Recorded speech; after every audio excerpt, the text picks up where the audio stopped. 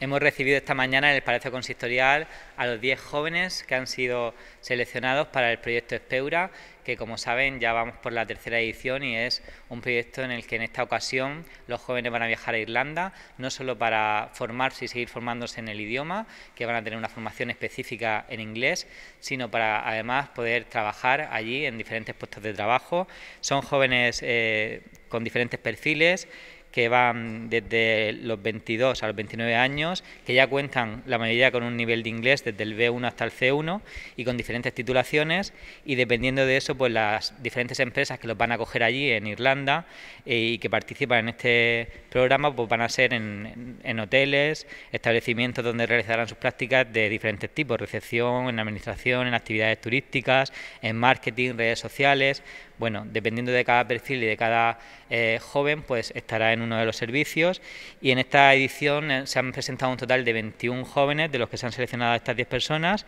que entre otras características son beneficiarios del sistema de garantía juvenil y que eh, para su itinerario profesional pues aprovechan esta oportunidad. Una oportunidad que le brindamos desde el ayuntamiento que no solo les sirve para su formación, sino que también les permitirá tener un empleo e incluso también pues seguir mejorando su currículum. Algunos de ellos incluso en otros años se han quedado trabajando en esos países, otros han vuelto, pero ya han vuelto con un nivel muy bueno de inglés y con una formación y una experiencia que les permite luego encontrar aquí un trabajo. Entonces, pues es una de las, de las características de este programa que siempre se ha realizado con mucho éxito y que esperemos que también este año lo tenga.